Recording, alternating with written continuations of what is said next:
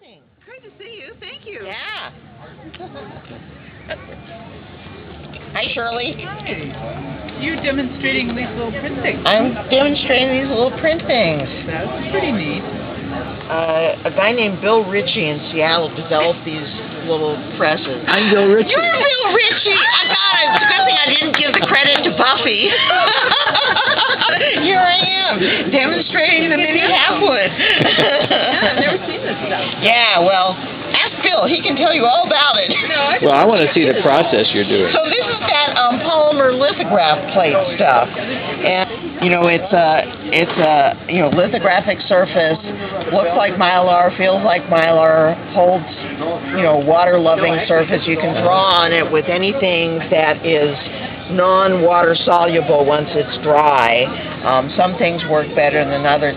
My my current favorite thing to make images with is um, acrylic ink, like F and W acrylic ink, and so I just draw on it with you know either a brush or a pen or a little tiny thing that's sort of a cross between a brush and a pen, and and get the image on there, and then you just print it just like a lithograph, but it is it is way less toxic, you know, other than cleaning up your brayers at the end of at the end of your printing session, everything else can be can be cleaned up with non-toxic products.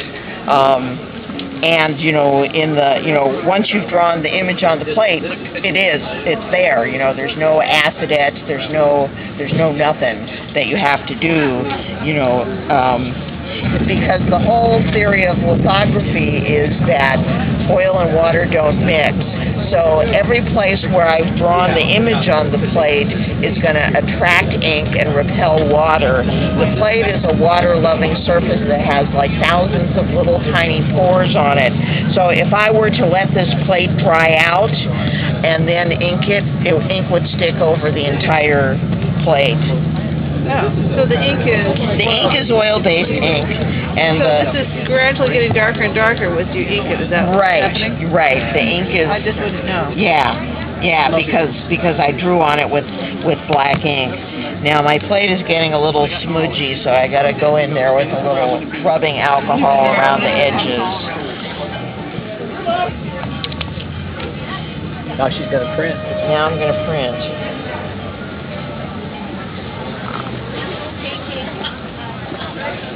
Now I'm not using your blankets that you provide with the press because, well, with the lithography you don't really need that much cushioning. Uh-huh. You know, if you were printing and etching, you would need more cushioning to, you know, pull the, the ink image, you know, off the, the plate and onto the paper.